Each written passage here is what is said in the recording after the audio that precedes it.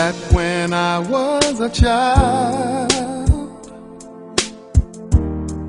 Before life removed all the innocence, my father would lift me high and dance with my mother and me, and then spin